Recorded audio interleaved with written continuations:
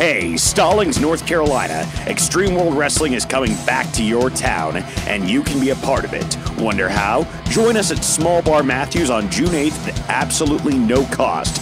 Oh, yeah, did I mention admission is free? Because that's kind of important. Yeah, free wrestling at Small Bar Matthews on June 8th. Awesome. Xtreme World Wrestling.